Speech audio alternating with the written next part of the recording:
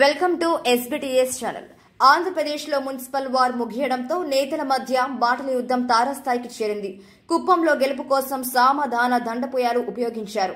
కుప్పం మున్సిపాలిటీలో వైఎస్ఆర్సీపీ గెలిచిందని ఎగతాళిగా నవ్వుకొని పండగ చేసుకుంటున్నారు.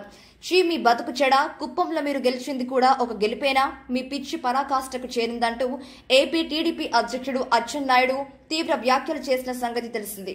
వైఎస్ఆర్సీపీ ప్రభుత్వాన్ని రద్దు చేసి మళ్ళీ ఎన్నికలకు రావాలని అచ్చెన్నాయుడు డిమాండ్ చేశారు. అచ్చెన్న వ్యాఖ్యలపై మంత్రి అనిల్ కుమార్ రెస్పాండ్ అయ్యారు. తమ ప్రభుత్వాన్ని రద్దు చేయమని అంటున్నారు. ఈ ఎన్నికల్లో ఏం చేశారంటూ మండిపడ్డారు. దమ్ముంటే తెలుగుదేశం పార్టీలో ఉన్న మిగిలిన పంతొమ్మిది ఎమ్మెల్యేలు రాజీనామా చేయాలని చెప్పారు. ఆ పంతొమ్మిది మంది ఎమ్మెల్యేలు మళ్ళీ గెలిస్తే అప్పుడు చూద్దామని అన్నారు. పంతొమ్మిది మంది సింగిల్ డిజిట్ వస్తే తాము రాజీనామా చేస్తామని సవాల్ విసిరారు. నెల్లూరులోని అనిల్ గార్డెన్లో బుధవారం మంత్రి అనిల్ కుమార్ యాదవ్ మీడియా సమావేశం నిర్వహించారు. తెలుగుదేశం పార్టీని ప్రజలు మర్చిపోయారని అన్నారు. ఎన్నికల్లో ఓడిపోయిన చంద్రబాబు నాయుడుకి బుద్ధి రాలేదని మండిపడ్డారు. సీఎం జగన్మోహన్ రెడ్డి అమలు చేస్తున్న సంక్షేమ పథకాలతోనే నెల్లూరు నగరపాలక సంస్థల్లో యాభై నాలుగు స్థానాలను గెలుపొందన్నారు.